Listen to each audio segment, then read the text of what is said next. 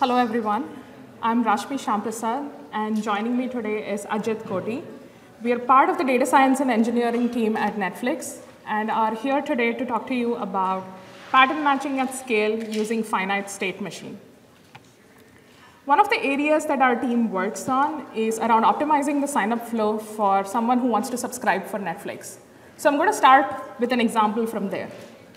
Let's say someone wants to subscribe to Netflix. They would typically start by landing on the home page. And here we give the user an option to kickstart the sign-up flow by clicking on the red button that you see on the screen. Now, this leads them through a sequence of steps which involves selecting a plan, registering for some credentials with which they can log in later, providing us with a method of payment before they can finish signing up. Now, this sequence of five steps is the happy path that a user could be on to sign up for Netflix with the least amount of friction. But sometimes we see that the users take a much longer path to get to the same point.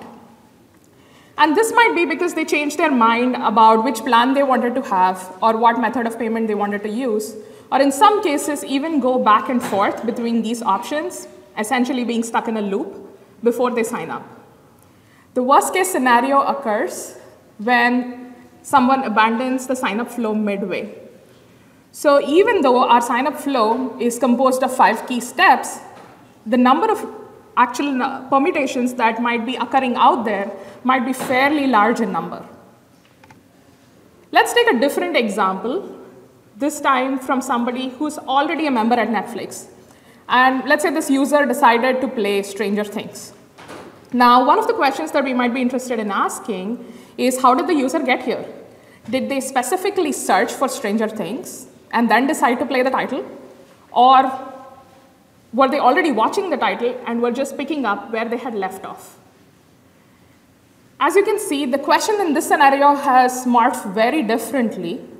And what we are trying to do here is we are aware of what our destination is and we are trying to figure out what our origins were. There might be other cases where we might be aware of what our origins are and we are trying to figure out all possible destinations the users could have gone to. So essentially, if you could think of all of these steps as milestones, what we are trying to do is trace paths across all of these milestones, if that makes sense. Now, let me walk you through a couple of challenges that we run into while trying to do this. More often than not, our data is spread over multiple data sources, which are heterogeneous in nature by virtue of the fact that this data is being logged by several services out there. The volume tends to run into terabytes or even petabytes at times, and we have to sift through all of that data to gather a simple insight. Once we've answered one question, we are quickly on the path to answer variations of the same question that we might have originally started off with. And this analysis tends to get a little repetitive considering the fact that we run a really large number of A-B tests all throughout the entire Netflix product. And we are required to do this analysis over and over again to make sure the user experience is still optimal. We might also be doing this sort of analysis to figure out if there are more opportunities out there to make the user experience a whole lot better than it is today. And the number of folks who are asking this question is not restricted just to engineers, but data scientists, analysts, product managers, everybody's interested in these kind of insights. So it certainly doesn't become easy considering the technical expertise of all of these users might be pretty varied if they have to deal with the prior challenges that I listed before. So let's take a look at a couple of ways in which we've typically tried to solve this in the past. A common solution that most people adopt is just collecting up all of these milestones into memory and then applying some sort of wildcard matching on it. So for example, if you see that these are the steps that a user went through, we would simply collect them up into a single string with some sort of a separator and apply some sort of wildcard matching on top of it to see if the path was a match. Now the syntax that you see here is from SQL, but you could essentially use wildcard matching syntax that might be offered by any language. Now this is a very simplistic approach and works well if your path is really, really simple. You don't have any forks, you don't have any iterations, you don't have people going back and forth. It works really well in such cases. And it works as long as your entire path can fit into memory. So once the collapsed string should be able to fit into memory. So this works only as long as all of these assumptions are true. Another approach that people might adopt is using analytical window functions. You could think of window functions as being some sort of aggregations being applied on a slice of data that we care about. So going back to the same example, let's say these were the steps that a user went through. And the question that we were interested in asking is somebody who landed on a home page, how many of them actually finished sign up? So really the two pieces of information that we care about are homepage and finish sign up. So we can throw everything else away and just focus on these two. So we filter down just to these events and then try to apply some sort of windowing function to figure out what the preceding and the following events were. So in this case, we would use the functions lead and lag, which are offered by some frameworks, to be able to get to this conclusion. This is a slightly better approach than the one that I just described, but it suffers through the same problem when your paths get complex and you start introdu introducing iterations or forks or merges. So it doesn't work too well for that. Option number three, and engineers might relate to this a little more, is organizing your data in a graph data model with the vertices representing the milestones that we want to track, and the edges between these milestones are the paths. Now, this is a good approach and it works well except that you would have to overload your adjacency matrix with a whole lot of additional information to track loops or how many times people went back and forth, direction, so on and so forth. Again, this is an approach probably more well suited for engineers, as I mentioned, and probably less so for the remaining set of user profiles that I described before. Furthermore, we would have to invest in some sort of frameworks or tools that are more optimized to handle graph data models. And it's important that these tools or frameworks play well with our existing ecosystem of tools. So there's that investment additionally, and the overhead of learning something new. So these kind of challenges sort of got us thinking if we could develop some sort of an easy to use solution to work around all of these challenges, but yet get to what, where we want to go. So we started by listing out all the requirements of a solution that we would want to build out. Primary requirement, be able to express your paths or flows intuitively. That seems pretty straightforward, we would want to do that. Uh, these paths or flows should support complex iterations. So given that even in a simple sign-up flow, we are seeing users go back and forth, imagine all of the product flows across Netflix, we want to be able to track more complex iterations in these flows. We already have a problem where we have to tap into multiple data sources to get to the insights that we need. So it's imperative that the solution handles that. And it scales nicely when the volume of data thrown at it grows. Ultimately, we want to make it easy for all the users who are interested in gathering these insights. And so while we are at it, why not throw a bunch of other goodies that make it easy to use and make it work well with our existing ecosystem of tools and frameworks. So basically, we want to keep it all simple is the objective in a nutshell. So with all of these requirements in mind, we put together our framework and called it Conduit. Now, what Conduit does is essentially look for milestones across a bunch of events.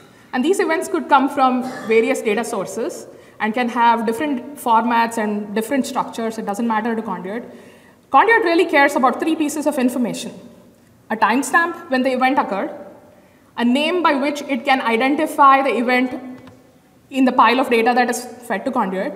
And this is a useful construct because let's say you had several sources of truth for the same piece of information. You could designate or name everything logically as one, and conduit would perceive it as a single event and look for it. And the last piece of information that we need is a unique identifier across all of the events. Now, no worries if your dataset doesn't have a unique identifier, we could always generate one on the fly. So that's all the milestones taken care of. Next problem, we want to be able to measure all of the paths against some sort of entity definition. And by entities, I mean the slice against which we want to measure things. So with reference to the examples that I covered before, we are trying to look at paths with reference to visitors or customers. And so these become our entities. Now, our primary requirement for the solution was to be able to express paths intuitively. Now, we thought about this a little bit, and we even considered an option of writing up our own DSL, and then realized, okay, people are not going to use this. So it kind of made sense to look in existing options that are out there, and it struck us that regular expression notation works out really, really well for this. And if you think about it, it supports all of the constructs that you would expect to see in a path.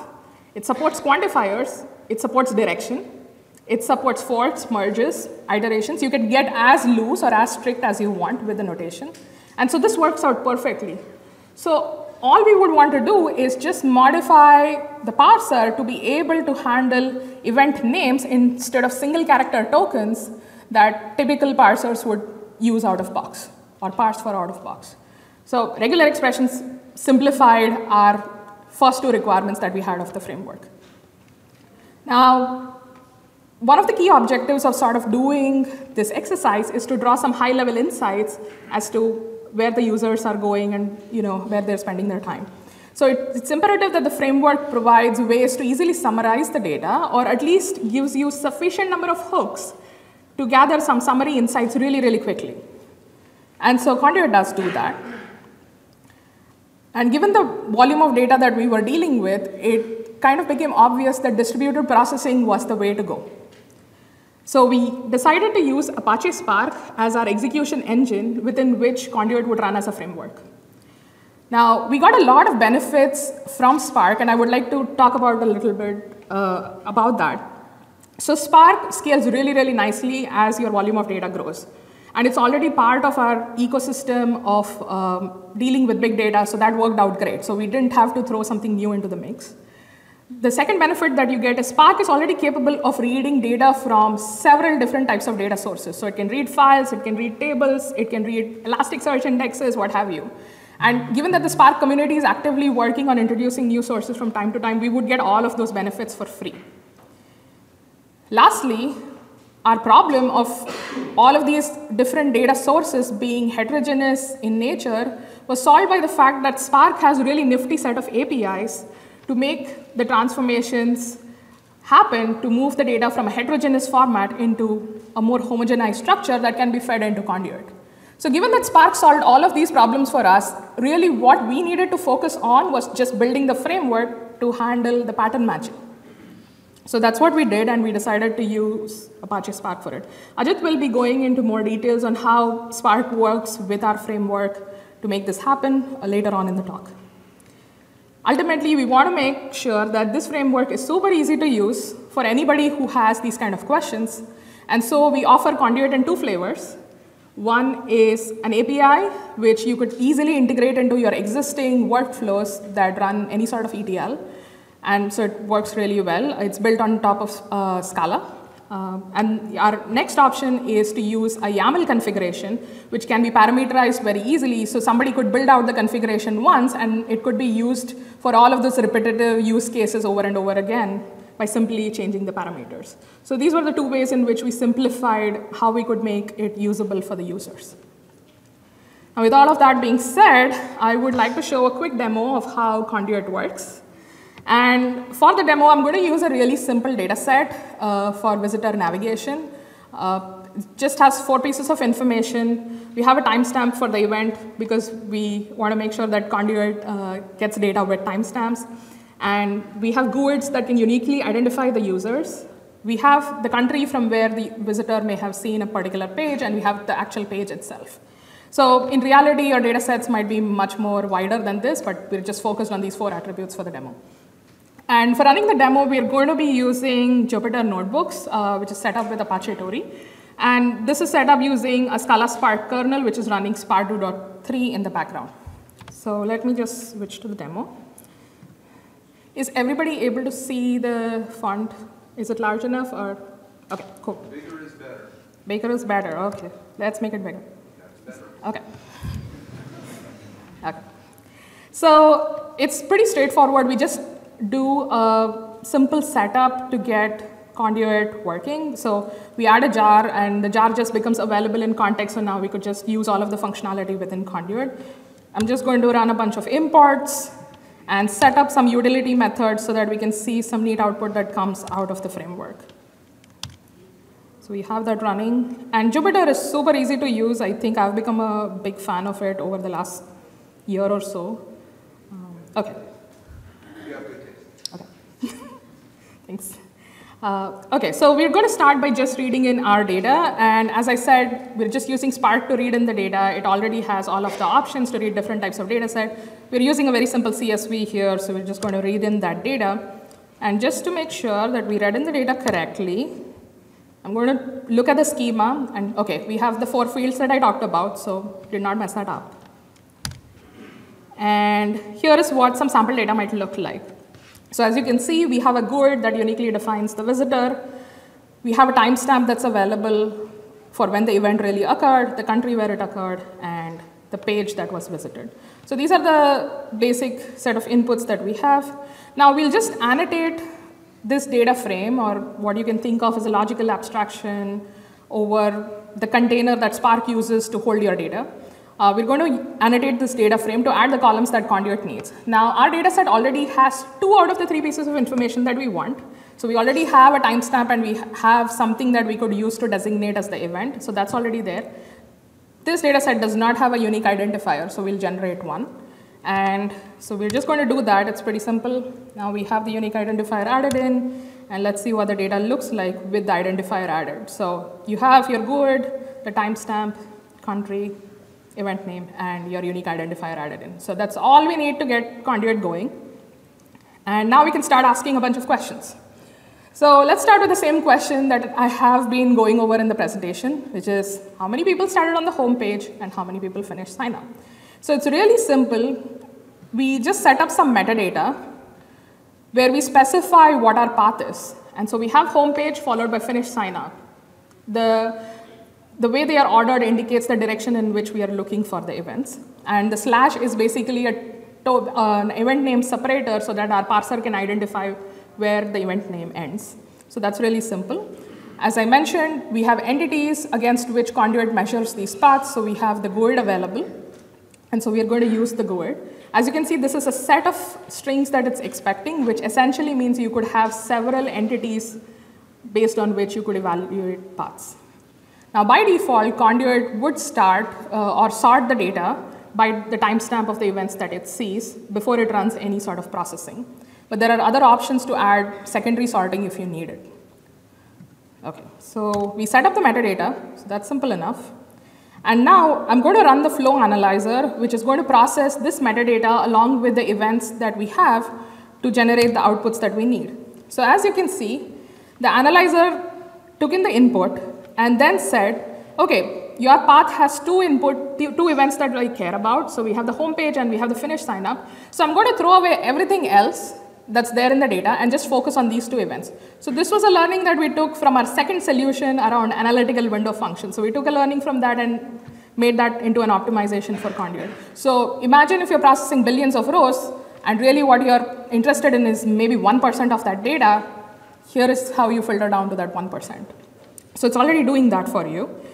And now we just run the analyzer and it's going to do its thing and tell us that four users started the flow and four users finished it. So which means four users started on home page and four users finished sign up. Now, this is the summary insight that we were looking to get, but we also have details about how we got here.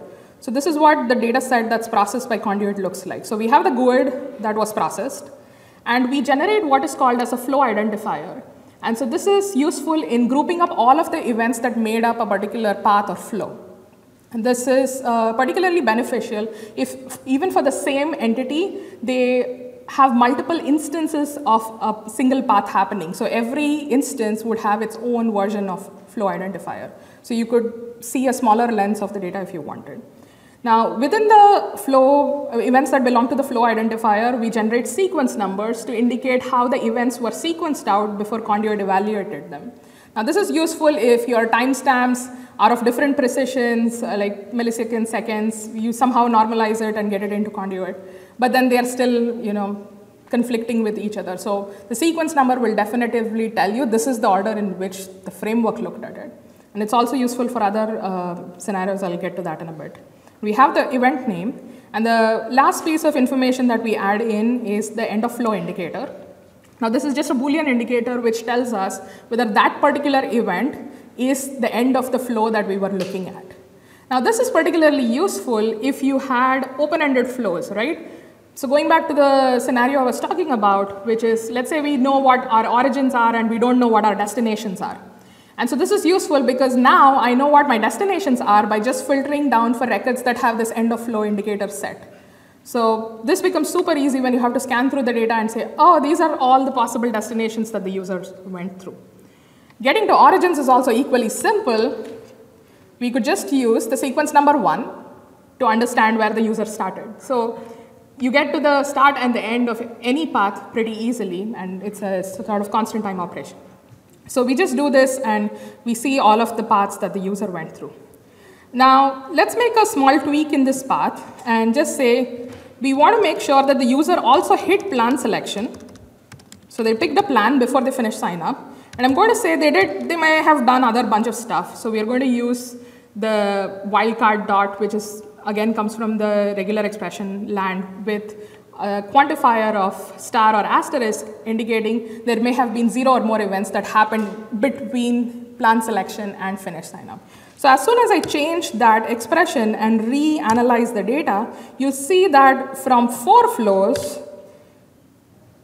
it changes to three. So out of the four people who started on the home page and finished sign up, three of them also visited plan selection, but there was one who didn't, so something was different out there. And this becomes a good pointer for users to go and look at and figure out what happened in those cases.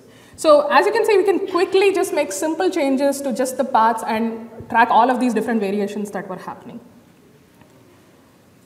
So let's get into, oh, I did want to mention. So because we added the wildcard notation, now we can see all of the events that happened in between plan selection and finish sign up. So somebody took eight steps to finish sign up, starting from home page, as you can see here. If we look at the next sequence, again from home page, but this time they took six steps. So again, this is a good way to tease out, okay, is the number of steps the same every time? It's probably not. So something's going on out there. Maybe they're going back and forth between different options. So this is particularly useful to do deep dives into what's going on out there. Um, now let's say we want to look at events in a sequence, but a whole combination gets repeated over and over again. So people start on home page, they go to plan selection, and then go back to the home page and go to plan selection again. So this sort of back and forth can be easily represented by just grouping these two events together in the parentheses that you see there, and then say the user should have done this sort of sequence at least once. And this, again, notation comes from regular expressions, nothing new here. So we just run through this, and now when we look at it, we see that five users completed this sequence, and you'll see that the first user did this loop twice, so home page plan selection and then repeated home page plan selection again. And same was the case for the next user, but the third one just did it in one pass. So which means something is optimal out here and people didn't change their mind about it, which means they got through the sign up flow fairly quickly. So these are some inferences you can draw from the data set that you see.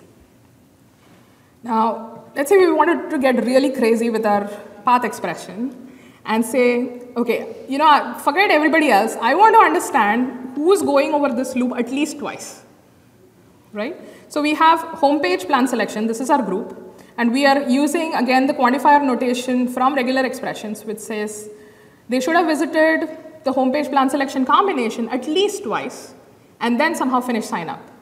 So this is somebody really, really motivated to sign up. So they went through the process really twice. So we're going to look at who did that.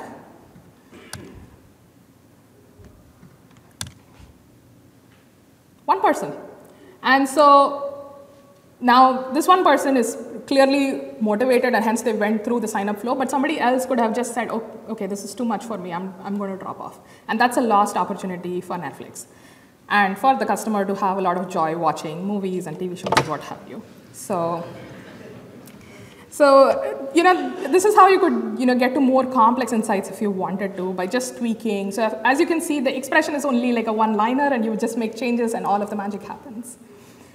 Now, the last example that I want to cover is around being able to summarize this data easily. Uh, and as I mentioned, this is eventually the insights that we care about, like some sort of summary statistics. So now I'm going to, the question that I have in mind is, okay, we have homepage and we have finish sign up. Tell me everything that happened in between and tell me how many steps does somebody take between homepage and finish sign up. And I'm going to make one more tweak and this is for users who care about some sort of conversion rates or you know, funnel entry, exit ratios and things like that. We're going to set this particular parameter, which I did not show you guys before, which is set to false by default saying we're going to allow incomplete flows, which means we're going to allow people who start the flow but don't necessarily finish it. I'm going to set it to true and just run through this and we're going to see some stats in about two seconds. There we go. So now you can see that for people who finished sign up, the most number of steps that somebody took was eight, the least number was six.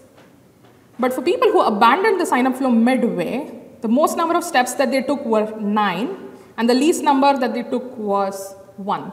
So the one use case you could explain away, maybe they accidentally somehow landed on the home page and then they just abandoned.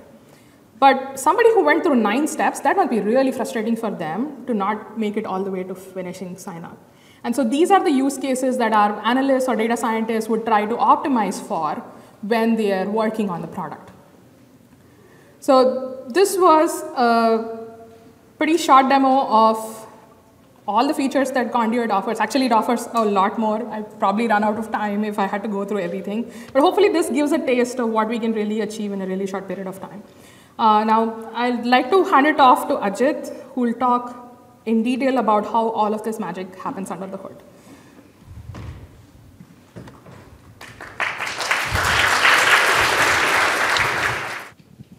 Thank you, Rashmi. Hello, all. I'm Ajit Koti, and I work in data science and engineering at Netflix. This is my third time at Strange Loop, and I absolutely love it here. Today, I plan to delve uh, more into the architecture and design of Conduit.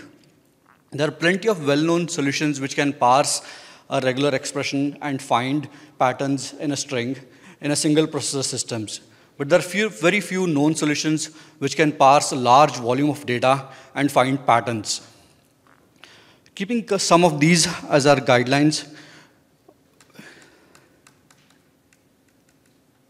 sorry, something the slide.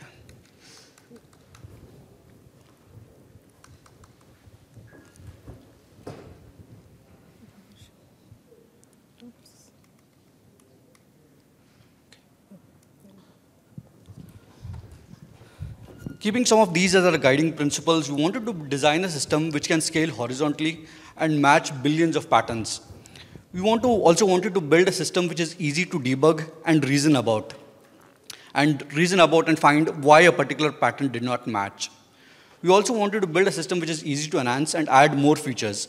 We recently added a feature which is to match or give, give us the output of impartial matches. If some part did not fully match, but we still want to see it as a part of the output, we added that feature. So we'll soon see how, how we've done this. And before that, I wanted to quickly uh, define some of the building blocks we had. Uh, one of them is regular expression. Regular expression is a sequence of characters that define a search pattern. Uh, for me, uh, regular expressions are wildcards on steroids. Then uh, other uh, uh, building block is abstract syntax tree. Abstract syntax trees are data structures that are used to represent the result of a syntax analysis. Abstract syntax trees are also the central data structures that we use throughout. They also have very less information of the real syntax compared to the parse tree. Parse tree have dense information. Uh, also, due to the hierarchical nature of abstract syntax trees, we also refer them as hierarchical trees. The last uh, building block we use is the finite state machine. Uh, finite state machines are abstract machines that has a finite number of states and transitions between those states. And in response to external events, the state transitions and uh, into, into, another, in, into another state. This is our game plan. Uh, we want to parse the regular expression for a given path into a syntax tree as a first step. So we use Scala's parser combinator to parse the regular expression and construct the individual expressions. Uh, parser combinator are just a higher order function that accepts several parsers as inputs and returns a new parser as, as, as its output. And each parser parses the individual regular expressions. We use these expression types to denote the different individual expressions. Event, uh, event represents a token. A concat represents one or, uh, concats is used to join multiple expressions or a token, or is used to represent, to join, or, or is to represent match one of the tokens. Bounded repeat and unbounded repeat represents zero or more or occurrences of a token or an expression. We'll soon see how we use this constructs to build the syntax tree. So we'll use one of the examples which we previously used uh, in our demo, which is home page followed by plan selection, followed by any event, and followed by finish sign up finally. Looking at just the regular expression string, it's, it's not easy to recognize that they have a hierarchical nature, but we'll soon see that they have a hierarchical nature. Also note that we can build a regex engine without building the syntax tree, but it will be very simple to evaluate regular expressions by building syntax trees. So as a first step, uh, we uh, convert all the events, uh, which are the, all the milestones, which is the home page, plan selection, and finish sign up as event expressions. And uh, finally, we convert the any expression as a repeat expression so that we can match multiple events. And to build the hierarchical syntax tree, we uh, use the concat expression to join, the multi join all these expressions and form a tree. Note that we can use the syntax, uh, syntax tree we generated to parse the regular expression, but that will complicate the code. Instead, if you could lower the abstraction, it will be much similar to build a system which is easy to debug and reason about. As the next step, we'll see how we convert the syntax tree into state machine so that the evolution becomes easier. To build the finite state machine, we use the following states, which is the accept, which can consume any event, fork, which can split a transition into multiple transitions, a bounded repeat and unbounded repeat represents one or more occurrence of a transition. A matched and unmatched indicate whether a pattern matched or did not match. We'll soon see how we use this construct and uh, construct the finite state machine. Finite state machine also represents a regex. It linearizes the regex components into graph, producing a format which is A state followed by B state followed by C state. By using this graph, it's very easy to evaluate against potential events and find a pattern. So the, the methodology or the approach outlined in next slides uh, was originally outlined in Ken Thompson's 1968 paper, which is regular expression search algorithm. B previous search algorithm used backtracking and backtracking whenever a, whenever a pattern did not match, it was very costly because you had to go back, and then that would uh, mean that you have to do a lot of bookkeeping. Instead, in this paper, uh, the approach which was outlined was that we could evaluate multiple states at once. So we use some of these approaches and convert the syntax tree into a state machine. To convert the syntax tree into state machine, the first thing we do is we create an accept for the homepage node. If we receive an homepage, homepage, and the accept node will transition into the plan selection node. If it did not, then it will uh, transition to unmatched node, and the pattern matching halts at this point of time. So let's say we received homepage, the accept node matches, and it transition to the next state, which is the plan selection. The plan selection, let's say if after homepage we get a plan selection, then the plan selection accept node matches and it transition to the next state, which is the unbounded repeat state. The unbounded repeat state has a fork at its one of its end. And the fork has two ends, one which is any, any events can be matched and it will loop it back to the unbounded repeat. And the other end goes to the finish signup. And the finish signup, if it receives a finish signup, it will match and it will transition to the next state, which is the match state. As the next step, we'll see how we'll use the state machine uh, to evaluate events. So let's say we have this data set, which is home page, uh, followed by plan selection, followed by provide payment, and followed by finish sign up. And If we pass this, uh, if we stream this data set to the state machine, then this is how the evaluation would happen. So the, as the first step, we'll pass the home page to the home page accept node, and this would match, and it'll transition to the next state, which is the plan selection node.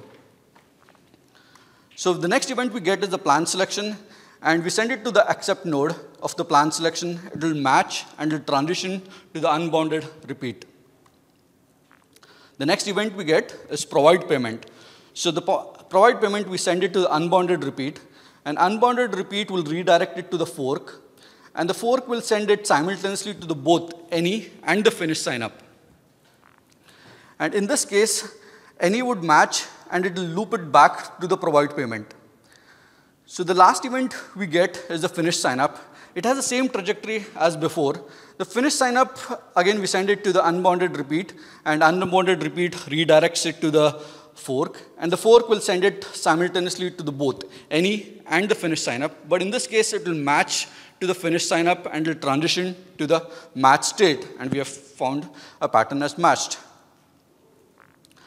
So we'll see another scenario um, let's say instead of, instead of plan selection, we got a login event, right? And we send it to the plan selection node. In this case, the accept node would not match, and it will uh, transition to the unmatched state, and the pattern matching will halt at this point of time. To scale pattern matching horizontally, we use Apache Spark. Apache Spark is a fast and general purpose cluster computing system which distributes the data across the cluster and parallelizes the operations across on the distributed data set. So looking, going back to the example which is used in the demo where we partition the data set by GUID and sorted by the event timestamp. Uh, let's say if we have a billion GUIDs, then we'll have a billion partitions. And for each billion partition, we'll create a state machine. Note that not all the billion, uh, billion state machines would be active. Only, only there will be active as many partitions we are processing at that point of time. So let's take a deeper look and let's zoom in how the evaluation happens within a Spark node. So we send events using the map partition functionality provided by the Spark, which is just, just a regular map, but it loops over a partition, which sends an event to the state machine, and the state machine will send it by in response, it will give you the next state. So, so let's say if, if the partition sends an event and we get a uh, state which is matched, and we still have events to process, in that case, we create a new state machine and then evaluate the rest of the events. But it could also happen that, uh, uh, that the stream has ended and we send the state machine, but the state machine does not respond back with the match. In this case, this will mark the whole flow as unmatched, and the pattern matching halts at that point of time.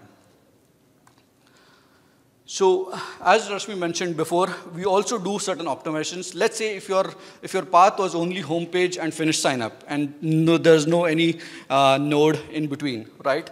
So since we need only homepage and finish sign up, we can do all the filtering upfront. So we only, filter, we only keep those events which we require, which is homepage and finish sign up, and then pass it again to the Spark and state machine, which will evaluate and send back the results. But by doing this, we can optimize and improve the performance. Note, but again, if there is any expression in your event, you cannot do this filtering upfront. So I've uh, linked out few references and blogs which we found were particularly useful during our development of Conduit. Uh, love to open it for any questions you may have.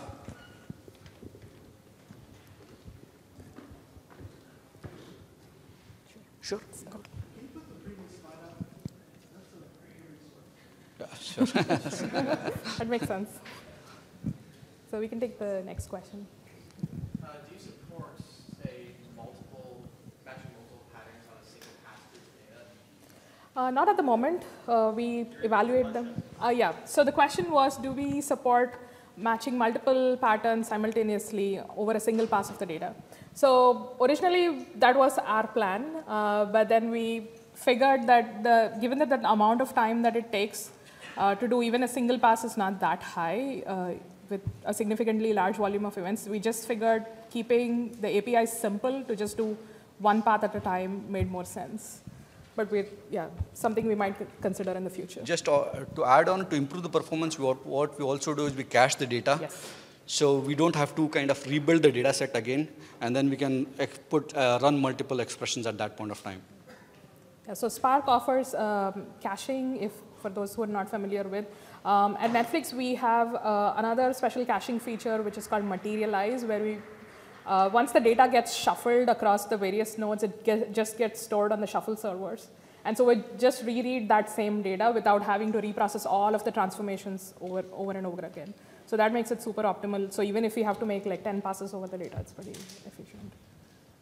Yes. Did you make? Sorry. Oh.